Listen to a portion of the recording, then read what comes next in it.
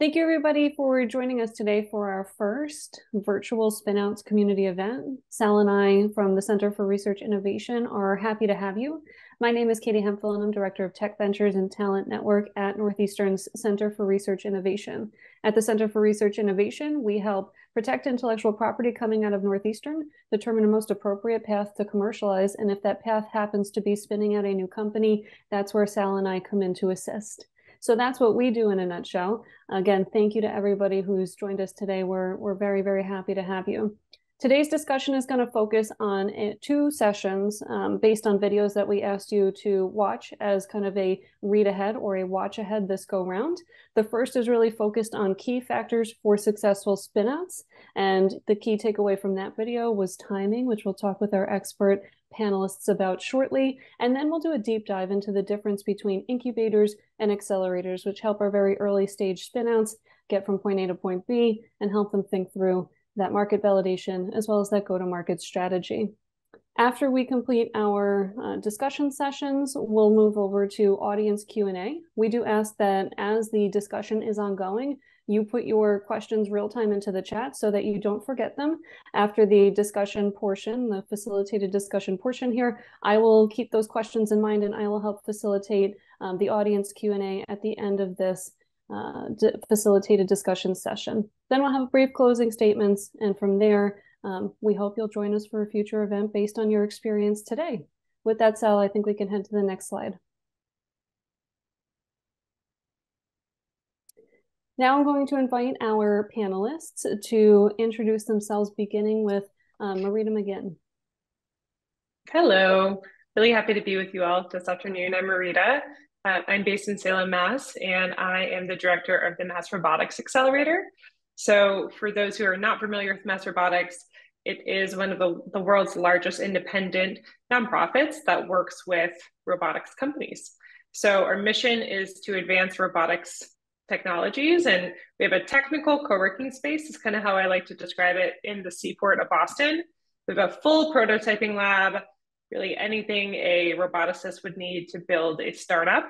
Um, about 85 different companies working at Mass Robotics right now. And uh, the next kind of stage of our mission is launching the accelerator. So that's what I'm doing. I'm building a um, very special equity free startup accelerator for robotics companies. And we are giving each company who participates $100,000 in non dilutive capital, in addition to a lot of robust business training and um, yeah, basically the learning the in, ins and outs of running a robotics company.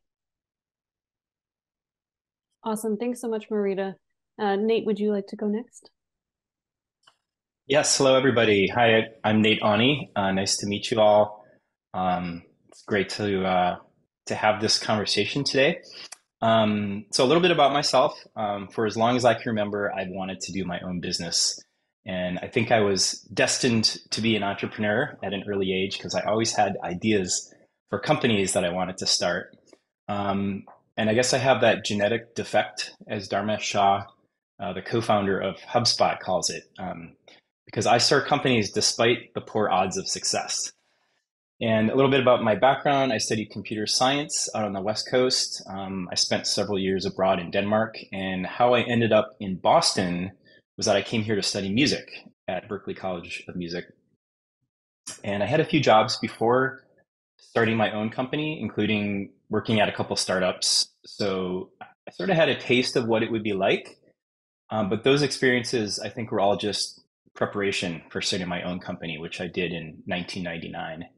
Uh, that was a web consulting firm. Uh, we built websites, web applications, uh, mostly for nonprofits, and I did that for about 10 years.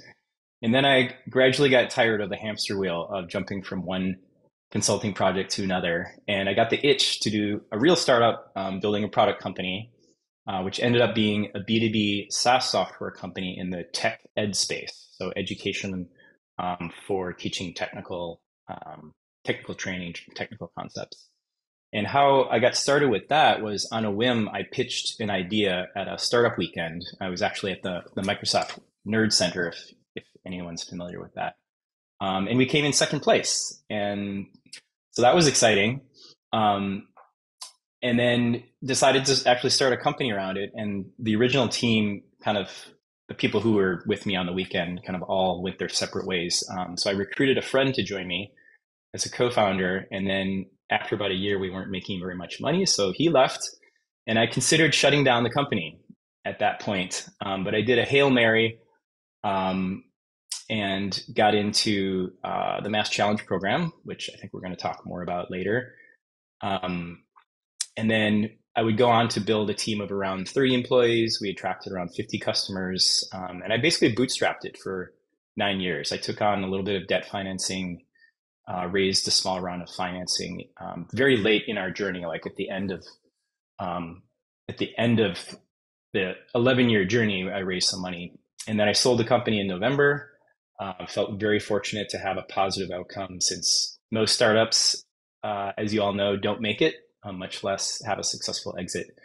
Um, so I've been taking a year a sabbatical to recover. It's very mentally exhausting um, to be a solo founder for that long period of time, and, and now I'm advising other early stage companies uh, while I'm trying to figure out my next move. Awesome. Thanks so much, Nate and Marita, for your introductions. With that, I think, Sal, we're going to head into our facilitated discussion period.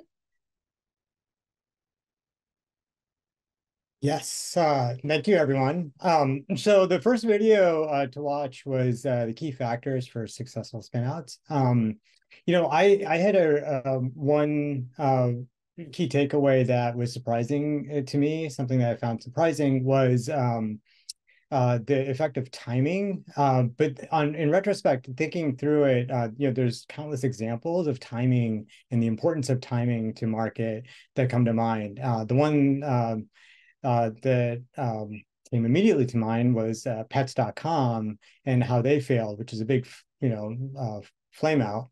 Uh, and of course, you know, many years later now, we've got Chewy, which is a very highly successful company, which is essentially identical um, to the pets.com minus the sock puppet.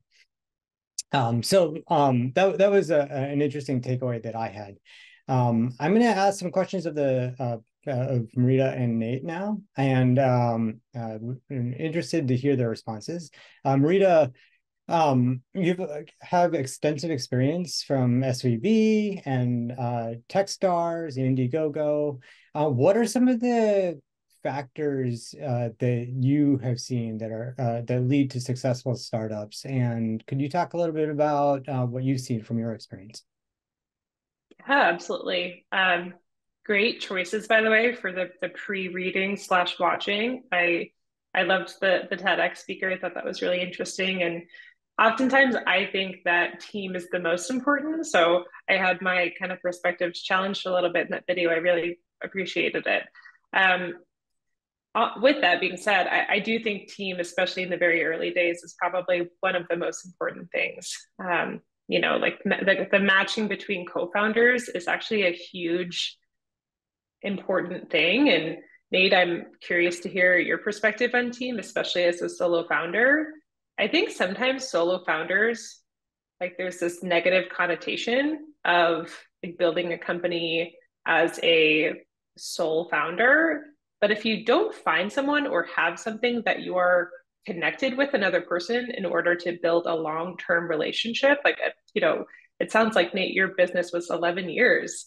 Um, that's a really long period of time to be working with someone. So I think it's absolutely essential for early stage startups to find someone that they can build a very strong and trusting relationship with and also have a relationship that is you know you have clear swimming lanes like kind of people have their own roles and responsibilities but they can be kind of nimble with that and you can lend in um, I work with a lot of technical founders, and oftentimes, you know, a technical founder might want to become the CEO of a startup, but they stay a little bit too close to the tech. And it's important to kind of have very clear swimming lanes of what you're looking to accomplish. Um, yeah, but but I mean, really, idea changes all the time, right? Especially when we're talking about incubators and accelerators. I think idea is far less important than you know team and then also just traction like what have you been able to accomplish in your time of um, you know building with your with your co-founder or with your founding team Yeah, uh, great points, Marita. Um, Nate, I, would like to uh, extend uh, and ask uh, Marita's question to you. Um, could you talk a little bit about your experience and your uh, uh, and your team in those 11 years during your startup? And also, um, if you don't mind, you know, knowing that you're a semi-technical or technical founder, like how did you interact and split up the technical role with your team?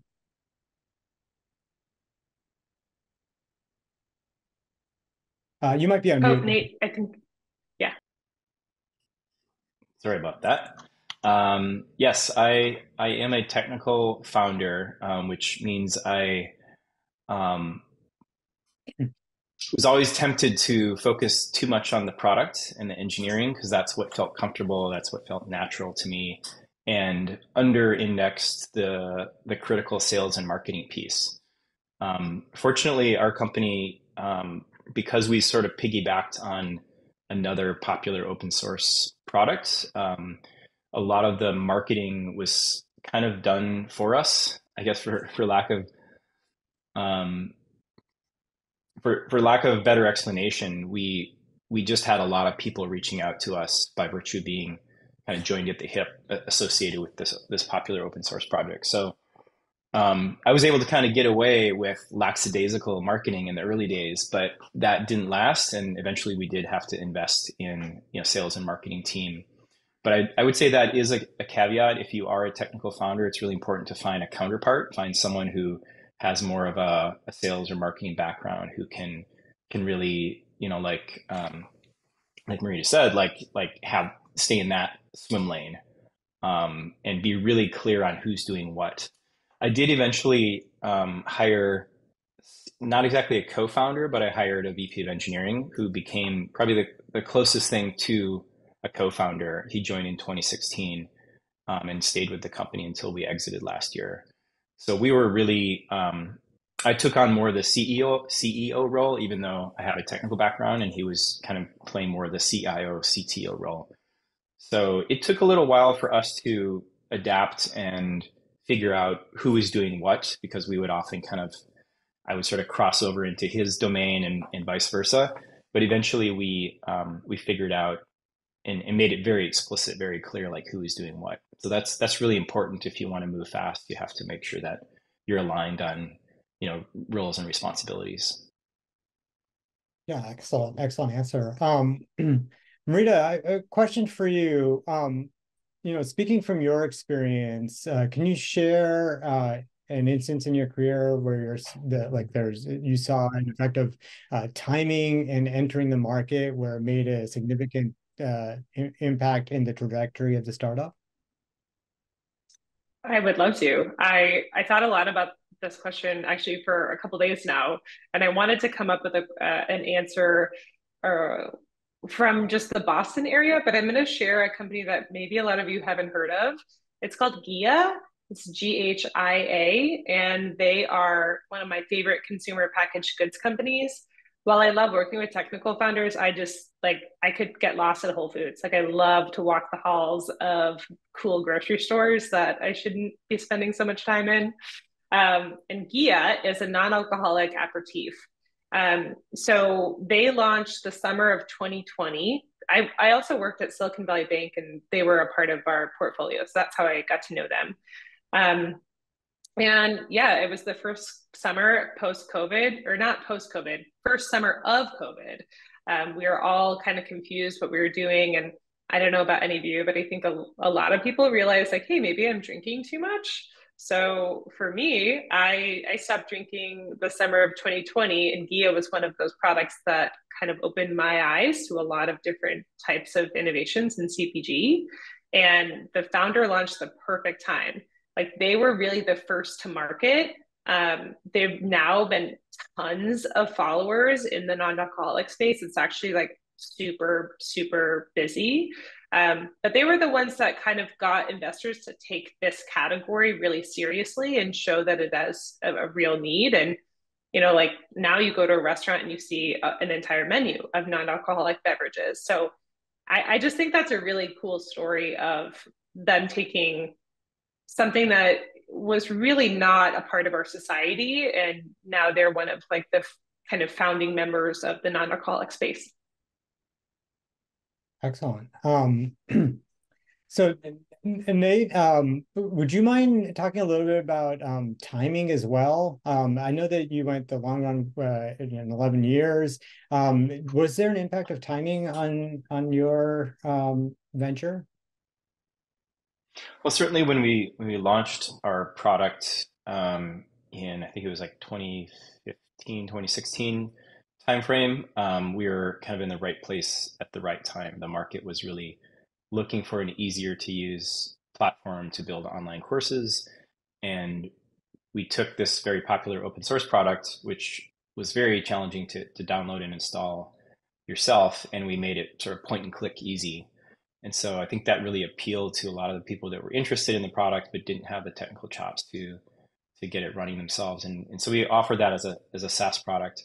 So I think we were in the right place at the right time. Um, there was a lot of interest when we when we released that. Um, but I've seen it go the other way too, where you know you're either too early and there's not enough demand. People don't even they, they can't even identify with the problem that you're trying to solve um, or you're too late and the market's already very saturated, it's very mature, and you're trying to be like a me too a me too product. So I think timing does really play a, a key role. You don't want to be too far ahead and and trying to launch um, like try to try to create a new product category is really challenging unless you have a lot of funding and you have really good marketing people. Um, it's much easier to kind of enter an existing market where you can kind of be a wedge and you can offer something um, that's differentiated from the other you know existing players in the space fantastic uh, and since we're talking about timing, I think this is a um, a good place for us to maybe switch over to our second uh, topic. Um, you know, I, I we're gonna monitor the uh, chat for questions, and there's definitely some time built in for for more in-depth Q&A. So we can always uh, circle back to this topic if needed. But uh, the second, uh, you know, topic, which is more of a deep dive, was really about incubators and accelerators and what the difference is. And that was that was the video. Um, this is an important topic for spinouts at Northeastern. Um, many of them uh, receive grant funding and uh, are built in labs, but when they leave Northeastern, they tend to go to incubators and accelerators. And for uh, many of our audience, this is an important topic, understanding the, the differences. And, they, and many of our founders consider um, you know what path is right for them. And so um really fortunate to have both of you on the call today. With your deep experience with incubators and accelerators um my first question um nate is going to go to you. Um you know you uh um spoke a little bit about your initial your experience at uh, mass challenge uh in uh 2010 um based on your experience um how would you differentiate the support and value provided by accelerator accelerators like Mass Challenge from that of incubators? And what specific opportunities or mentorship opportunities uh, um, stood out to you from your experience? Yeah, so first I'll say that um, I'm somewhat of an accelerator junkie, uh, as Sal knows well. Um, I did Mass Challenge uh, twice. I was in the inaugural class and then I came back the next year and did it again um, with pretty much the same company, but uh, at that point we had changed our name and had a completely different business focus. Um, I also did Tech TechStars. I did some some lesser known accelerators, TiE Boston and Mozilla Web Forward. Um, so I have a lot of experience doing a number of different accelerators. I also participated in the Dogpatch Labs incubator in Kendall Square, uh, which was a really sweet deal because we basically had office space, uh, free office space that was sort of subsidized by Dogpatch um, or by um, Polaris Ventures was the, the VC firm that was offering that. Um, and so my experience with the incubator was that it provided office space, which was really key, um, and a community of other startups. So there were a lot of other companies working in that space, and you can network with other founders. Um, there were a lot of social events to to connect with other people. Um, and that's sort of where the incubator stopped. There wasn't really a lot of additional value add besides the office space and the community. Um, my experience with Mass Challenge and Techstars, um, is they not only provided the office space and the community, but they also provided mentors, like really experienced experts. You know, a lot of a lot of these folks were founders themselves, um, and they would very regularly invite experts to come into the Mass Challenge space and present to all the startups, and it was an opportunity to ask questions and and really learn from from people who had experience in different areas that that you don't have experience in, right? They would bring in legal experts and they would bring in marketing people. And, you know, as a founder, you, you just can't do everything. You have to find people who have expertise in areas that you're not familiar with.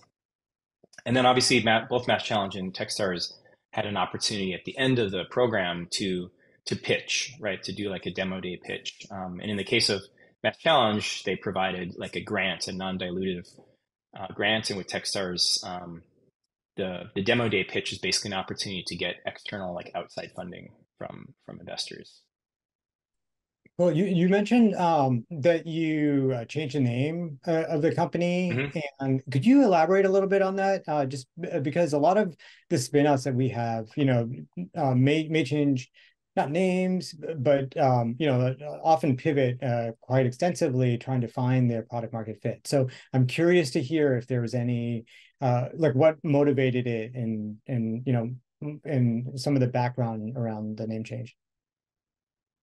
Yeah, it was it was more than just a name change. We we actually deprecated the original product that we built because um, some really large players entered the space, and we we realized that it was like a race to zero. Um, and so so we um, we retained kind of the the original idea, but we pivoted to um, to building something quite different from the original idea. Um, and that probably would have been an opportunity to shut down the original business and then like start a new one um, with a new name and you know like a new a new C corp or, or an LLC. Um, but I was lazy and I just I had the company already running and had done all the paperwork, so I'm just like I'm just going to keep it going. Um, that if we have time, I can talk about some of the the downsides of doing that because then later, um, you know that that had an effect on you know when I when I finally exited, there was a lot of um, stakeholders that were on the original um, cap table from when I founded the company who didn't really have anything to do with this kind of second phase of the company. So in, in retrospect, it probably would would have been better for me to just like shut down the original idea and then do a, re, a restart.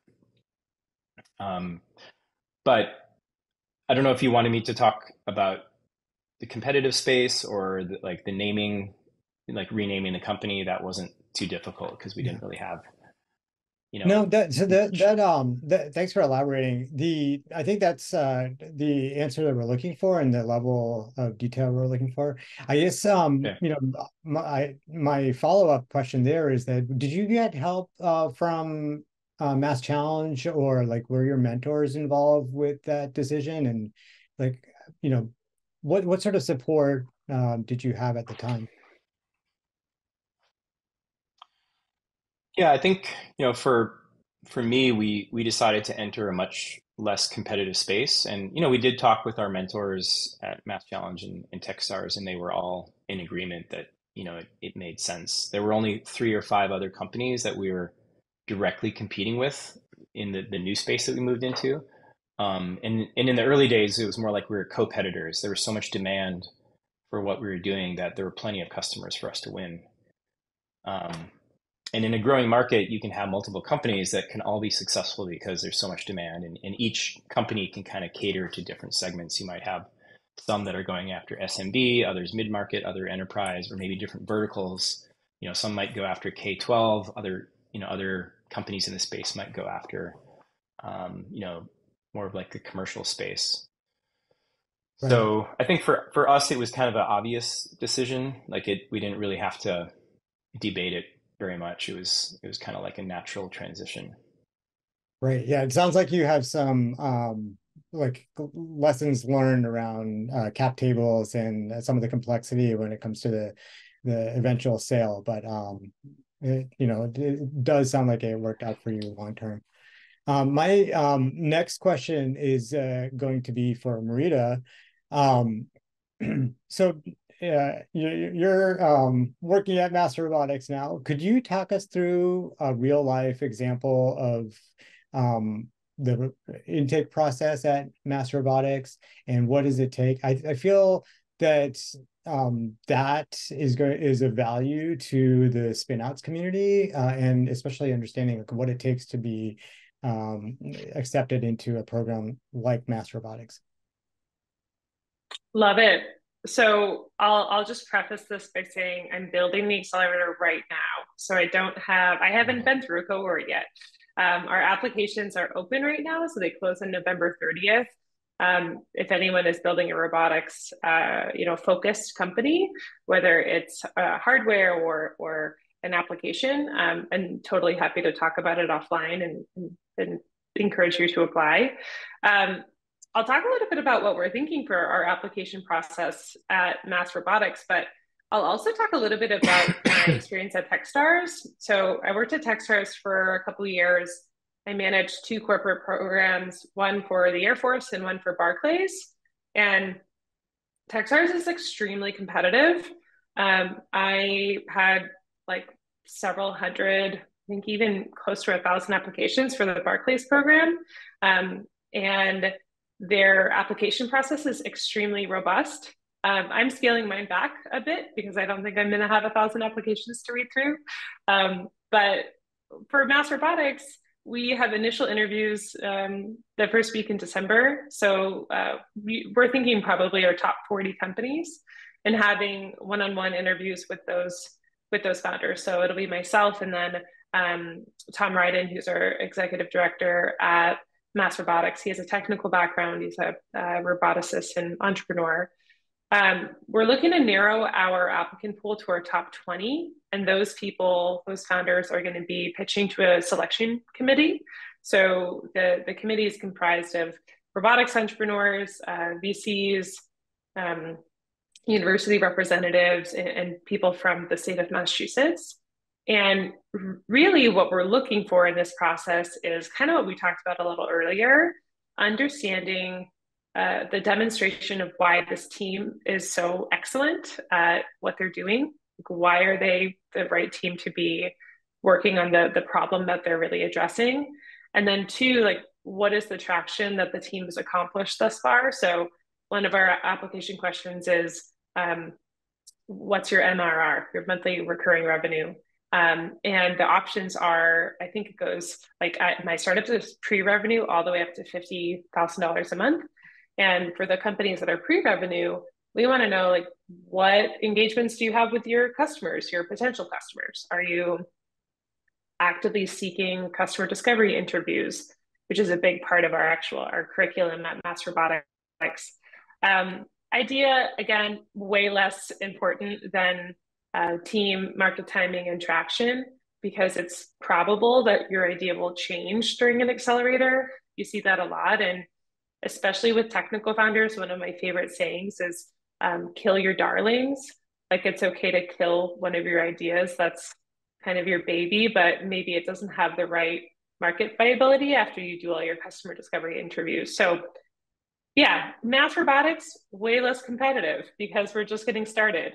But Techstars, um, if anyone's interested, by the way, in like in going after one of those really big accelerators, or maybe this is applicable to everyone, I think showing extreme enthusiasm gets you a lot. So finding out who the decision makers are that you'll be interviewing with, you know, send them an email, reach out to them on LinkedIn preemptively, like really show a lot of initiative and um, show enthusiasm for your startup because I think that goes a long way um, in these early discussions.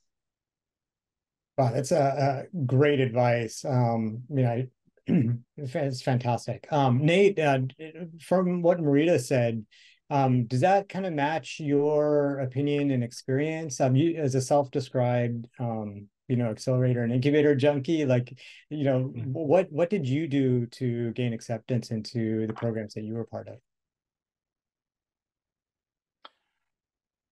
yeah well i i agree with marita that uh, networking is really key so i got introduced um, to the directors of the techstars boston program through some friends of mine um, who had worked with with them before and I reached out to them, and they said, "Hey, we've got this um, this new accelerator um, called TechStars Cloud, and we think you'd be a really good fit for that." So I got an intro to Jason Seats, um, who was the the co-founder of SliceHost that got acquired by Rackspace, um, and so he was just launching the TechStars Cloud program in San Antonio, Texas, and and I applied for that um, as a solo founder and Jason um, said, "Hey, I'm going to be in New York. Can you can you meet me um, next week?" And so I, I took the Chinatown bus down to New York City. I met him at a, a cafe near the bus station. We met for about an hour, and then I got back on the bus, came back to Boston, um, and I did, I didn't know after that that hour long meeting if I was going to get in. And then he called me a couple weeks later, like right around Thanksgiving, and, and said that um, that I was accepted into the program um, with one caveat that he he wanted me to to find a co-founder. So entering the program, that was like my mo for the first month or so was trying to find a co-founder, and was was not successful. Actually, it was it was quite distracting to try to do that at the same time I was trying to meet with all the mentors um, and and try to get, as Marita said, try to get traction in those first three months. So yeah, it was it was a very um, challenging time because you're trying to prepare for demo day, you're trying to get your product built, you're trying to do customer discovery. It's very intense. I will say that I experienced something that they call mentor whiplash. Um, and in the first month, you meet with probably a dozen different mentors.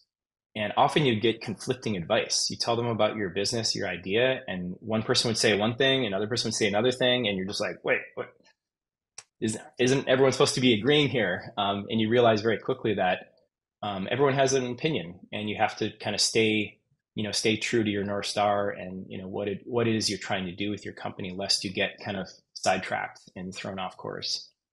Um, so I think if I had one piece of advice, it's, is don't try to be everything to everybody. Um, I think that's the death sentence for a startup. You just, you simply don't have the resources to make a great product for everyone. You have to make a product for a great product for a particular niche, and then once you've established a beachhead, then and only then do you consider expanding to serve other kinds of customers. Um, and so one of the exercises we did, and this was something that was recommended to me by some of our mentors, was to define an ICP, which is a ideal customer profile. And once you've really narrowed that down after doing your customer interviews, then everything becomes easier. Your marketing, your sales, your product, your fundraising, all those become a lot easier once you figure out like what you're building and, and whom you're building it for.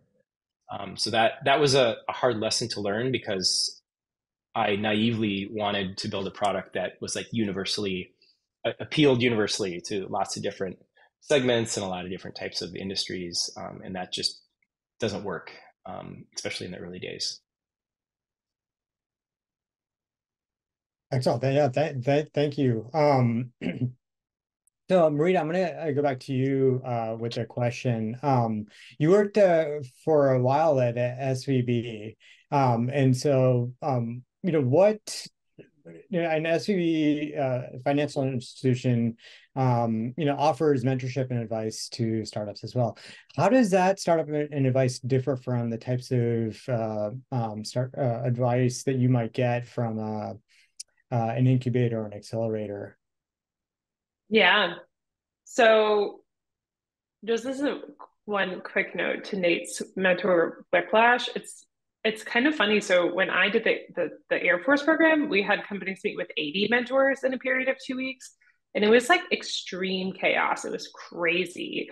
And they do that on purpose. Like they want the founders to have a mentor whiplash. So then people are sort of like forced to have to make their own decisions instead of just, you know, taking what your mentors have to say. It's, I'm making, I'm doing a little bit of a different approach uh, for mass robotics. But back to SVB and so I, I view it's the job of the person who's running the startup accelerator or incubator to really surround the startups with resources that they need. So you have to have a bank and there's a bunch out there and it's kind of i view it as my job to kind of coach founders into figuring out what makes sense for them um, i didn't mention this in the beginning and maybe you've already gathered this but i don't have a background in robotics but i'm leading a robotics accelerator And that's because I have all these wonderful connections and people around me in the Boston area and just my startup community that I can pick people in and make sure that I'm building a curriculum that's full of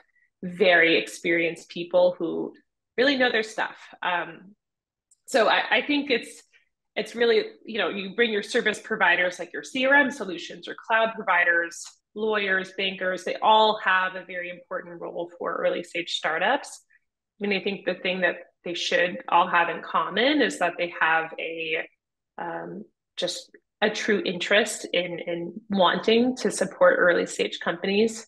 Um, specifically on the banking side, by the way, I would really recommend all of you because you all probably will have a bank for your startup. Um, really lean on your banker for help with fundraising. I think this is something that's often kind of like you don't think to ask your banker for help. But at least at Silicon Valley Bank, we banked early stage companies, but we also banked the majority of VCs. I don't know what that landscape sort of looks like now with the fall of SVB, but just know like they all want your business and they really want to help you. So ask a lot of your bankers. I think that's kind of an important thing to kind of think through. Um, yeah, I mean, I would also just like find the people who, again, are most enthusiastic and look really helpful. Like I'll give one example. So one of my former colleagues, her name's Sharita. Uh, she's at SVB. She's an early stage banker. I see her on LinkedIn every single week with an incredible event that she's doing for early stage companies. Like she's just on fire. She is the only person out of six people on my team who remained at SVB, and she's just like really kicking butt. And you can tell she really cares. So like I would absolutely recommend anyone work with someone like that because she clearly cares. So I think you kind of just have to sniff out the people who are who care versus, you know, are just trying to get your business to fill their quota. Yeah, that's uh fan like again, great, great advice. And you and you made a callback to um the the value of like the network and networking um, and I'm just going to throw this out there that when we were putting together this panel, uh, we approached you and Nate separately, but you actually had worked together in the past, uh, uh, eh, you know, in this type of relationship. And that it is a small world. Like people do, uh, it's a small community, especially with startups and in the Boston area. So um, specifically in Boston. Yeah, right. Yeah, like Boston's a tiny city when it, and that's actually why I like it. Like I lived in New York for a while and I, there was all these like different startup communities, but there was no like startup community. Um, and that's why I love being back in Boston. Like it's, it's just wonderful. Like it's actually really cool. So Nate and I met through SVB, but it's, I, I also worked at Techstars and he was a part of Techstars and Mass Challenge. Like there's just so much overlap between individuals in Boston, which I think is really special. Yeah, fantastic. Um, you you started uh, talking a little bit about um, um, mass robotics and um, your approach, especially when it comes to um, um, mentor whiplash. Could you could you elaborate on that? Because I feel like um, we'd love to hear your you know how how you plan on. Yeah, totally. So my goal overall uh, is to help technical founders realize that they can be very successful business people so helping technical people become really strong CEOs.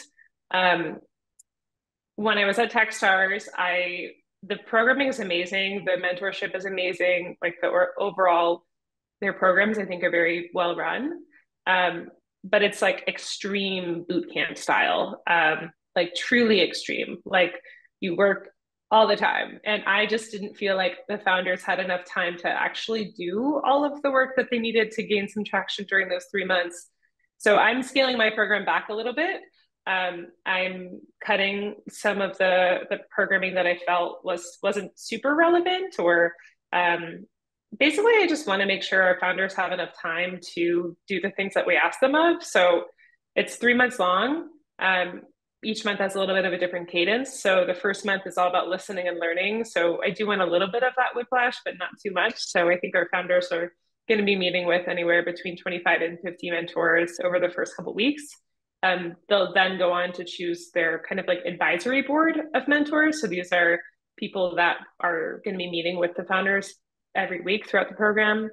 Um, the second month is all about customer discovery, especially with highly technical founders. Like if you just walk through the halls of Mass Robotics, they're all, you know, roboticists. Um, they oftentimes like to just kind of stay in the lab and it's important to go talk to customers. So end users, but then also buyers. So we're having each company do at least 25 customer interviews. And then the last month is all purely about fundraising. Um, fundraising from institutional investors, so VCs, uh, corporate venture capital, but then also about how to take advantage of state and federal resources. So how to work with the state of Massachusetts, but then also like how to actually win an SBIR and all of the different phases of an SBIR. So I'm bringing in several experts who can help on that front. But yeah, it's going to be special. We're, we're culminating at the Robotics Summit and Expo, which is an existing conference at the Convention Center in early May. And all the all the companies will be able to pitch to investors, but then also buyers who are going to be in the in the crowd. So yeah, lots of business training, less robotics because I don't need to teach a PhD about robotics yeah. because they already know that. Excellent. Um, thank you. I think that gives a really good peek, uh, you know, uh, at what it will be like to be part of uh, a program like that. And um, yeah, thank you so much. We're gonna head to Q and A here. Um, so I'm gonna pass it to Katie. Uh, are there any questions either from the chat or uh, any questions that rolled in?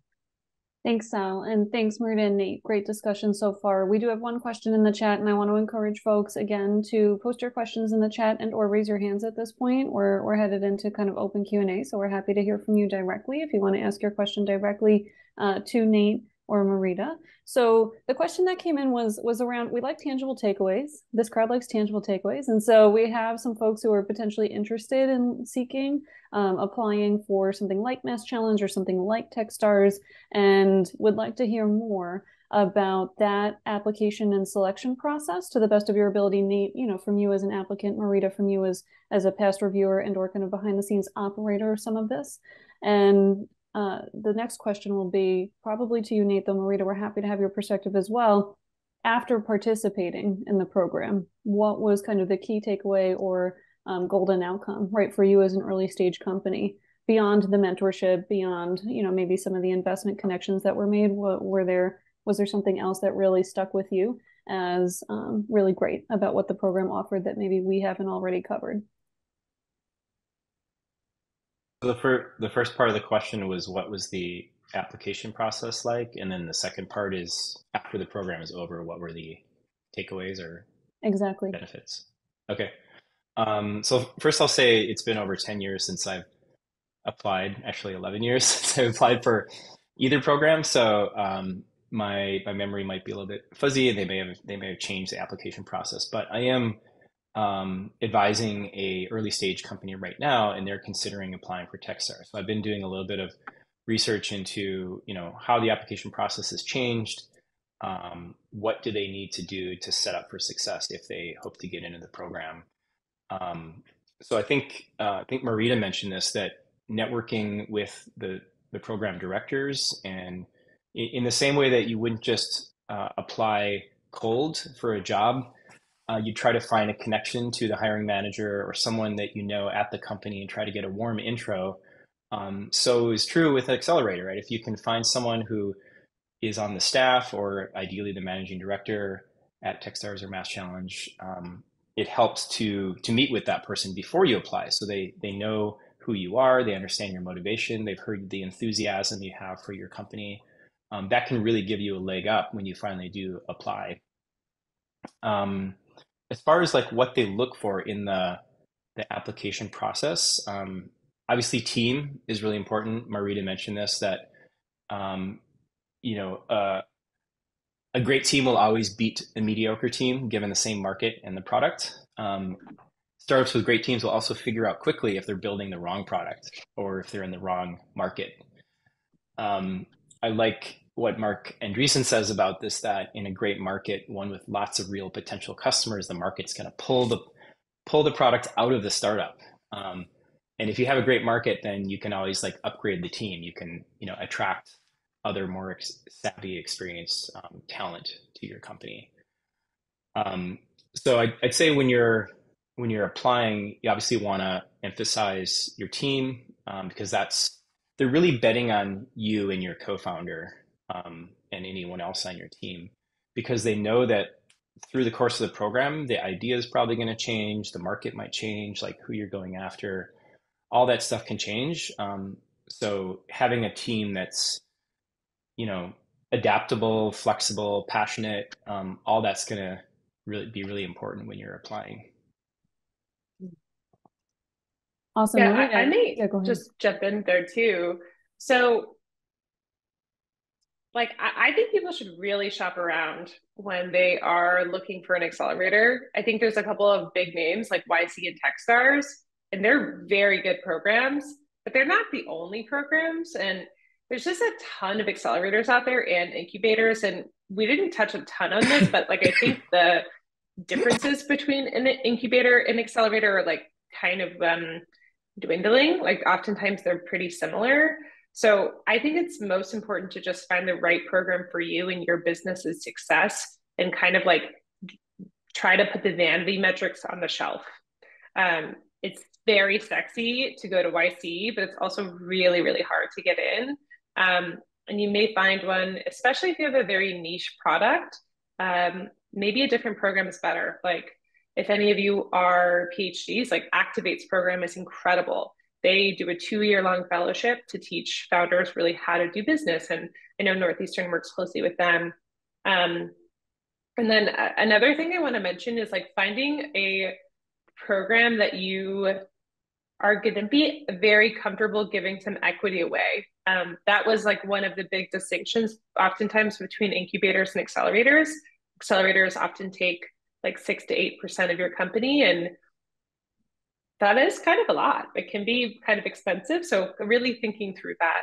Um, but the overall like application pro- process, I think it's more important to like realize that you're also choosing them. Um, they're not just choosing you, just like in any job interview. Um, so you have to find a program that you can actually find like a bit of a home and community in. Um, also, like I'm a big believer in in-person accelerator programs. I ran two programs. One was in person and one was not. And the one that was in person, they're all still best friends, and they actually like all these founders lean on one another. Um, they have very strong relationships leaving the program. So I'll just take that into kind of consideration as well. Thanks so much, Marita. So we had another question come in that is kind of related to what are you getting out of some of these experiences when you find the right one, right? And you go to apply and you think it's really the right fit for you and your team, as well as your idea, you know, beyond networking, beyond mentoring, what is it you feel you're receiving, you know, from the accelerator incubator experience that you cannot replicate on your own or through some other experience that may not take equity, for example? Yeah, I, I can take this one. Um, so you can fundraise on your own, right? If, if you have a good network or you're particularly um, persistent, you can uh, reach out to investors and you know you can do it on your own. The, I think the advantage of going through an accelerator is that um, you are one of a select group of companies that are sort of pre-vetted, right? They're they're being presented to a group of investors who've also been vetted by the accelerator program. So there's a there's a sense of like matchmaking that happens where um, your chances of getting fundraising and getting it completed sooner rather than later are much higher um, because the investors know that Techstars has done the due diligence and they've prepared you for funding and you're you're going to be a much more mature a company than someone who maybe hasn't gone through an accelerator and hasn't sort of been groomed, so to speak. Um, so the the the investors are lining up to see what companies are coming out of the accelerators and they're excited and they know they're going to invest in a certain handful of them right it's just a question of are you one of those companies they're going to invest in um, so that's that's one of the big the big benefits is just fundraising is a lot easier, I think, if you've gone through an accelerator. Um, the second thing is once you get through the program, um, the network, uh, at least with Techstars, is excellent. So you're you sort you sort of have lifetime membership, in a network of a growing body of founders all over the world who you can reach out to as partners or as customers or just advice on any number of topics right there's so many people and, and techstars really has this kind of give give first um, attitude where you know anytime you have a problem you can reach out to another founder and, and they'll they'll bend over backwards to help you out. And i think that goes a long way because running a company is can be a very lonely activity. It's very lonely at the top if you're one of the co-founders. So to the extent that you can um, extend your network and have other peers who are going through the same experience maybe they're like a year or two ahead of you and they've already gone they're at a different stage of their company and they want to help you get to that stage too so i think having access to that network, um, there's tons and tons of you know discussion forums and chats and, and events that they organize. Getting plugged into that is just going to help you through your journey. Um, at least it it really helped me. Marita, anything you want to add to that? And then we have one more question before we'll close out. Yeah, I mean, I, I totally agree with Nate. I'll, I moved back to Boston. I'm from around here, but I moved back to run the Techstars program in 2019. And all of my startup friends are from Techstars. I got the job that I have right now because of Techstars. Like the network aspect is really amazing, especially in cities where like the accelerator's been running for a long time. Um, Techstar Boston was Techstars' second location from Boulder. So they have a very deep deep network in the Boston area. And I totally agree. The give first thing is real. Um, and I, I, think that's um, totally able to be replicated in all sorts of different things. I mean, I, that's one of the things I hope for my accelerator is that every year, um, you know, founders come back and, and give back as mentors and and really have a community. I think the main benefit though of an accelerator is just like the uh, pressure cooker of focus like you're in this experience for three months with people who are going through something similar and just the you just unlock different things when you're doing something like that with a group of people.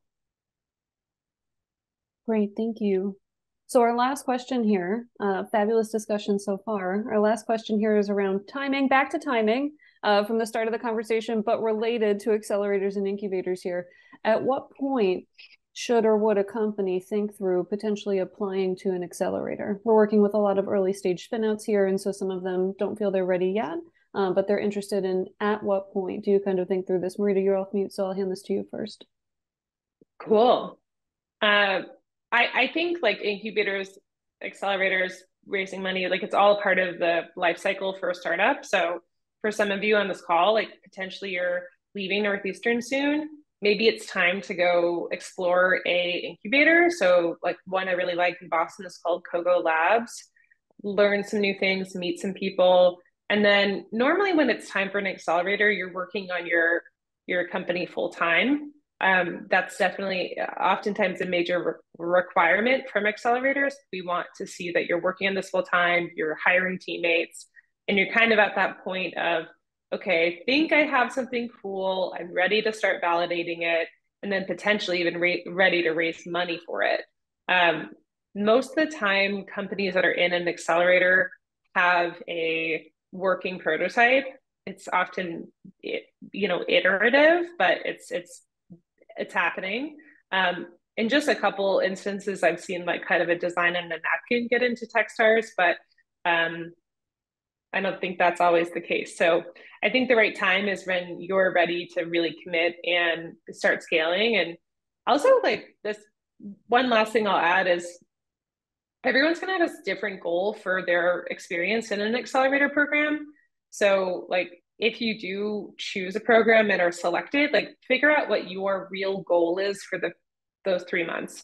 Is it garnering uh, customer traction, getting ready to fundraise, learning how to manage a team, like have a very specific goal that you want to accomplish. Thank you. Nate, anything you want to add here as we close out related to timing and, and when do you know you're ready?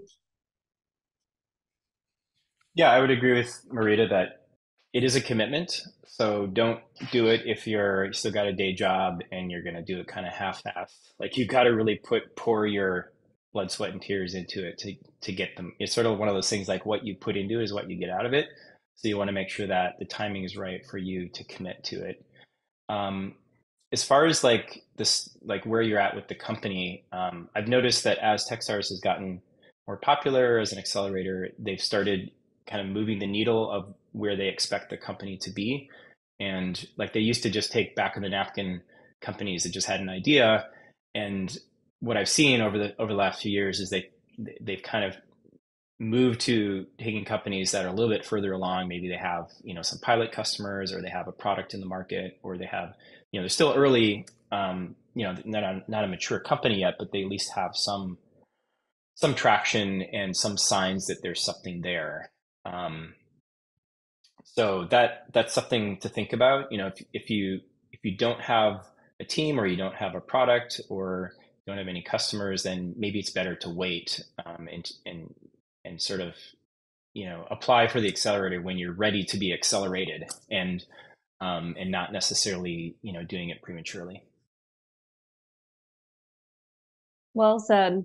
So with that, we are going to work on wrap up here in the chat. I did share a couple of links. So anybody that was looking for um, what it is we were talking about, Mass Robotics Accelerator, Activate was mentioned. We have a resources page on the CRI website where you can filter by accelerators and incubators. I know that it was mentioned a couple of times that we only talked through a couple and there are several. If you filter by accelerators, incubators on our resources page, you'll find a couple more. Um, what we're going to do now is we're going to share one more slide with a couple of QR codes for your reference. This here is our CRI website, the first one. One in the middle is our Spark Fund. CRI Spark Fund is currently open. If you are a Northeastern researcher and you are working with Northeastern intellectual property, you qualify for the Spark Fund and you're welcome to apply this cycle. Applications close towards the end of November. And then last but not least, we have our invention disclosure form. If you're working on something here at Northeastern and you haven't let us know about it yet, but you want to, to see whether or not we can help support, please do feel free to fill out an invention disclosure form. With that, I want to provide um, virtual claps here for our panelists today. Thank you so much, Marita and Nate. Your insights are invaluable. We really appreciate the time and talent you offered today. And this is recorded. You will be able to come back and reference it in the future. Thanks to everybody who joined and who stuck with us uh, through our discussion here. This was a fabulous virtual event, and we look forward to seeing you next time.